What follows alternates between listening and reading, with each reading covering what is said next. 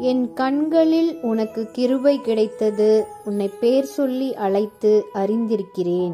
யாத்ரையாகமம் முப்பத்தி மூன்றாம் அதிகாரம் பதினேழாம் வசனம். கர்த்தர் உங்களை ஆசீர்வதிப்பாராக. ஆமேன்.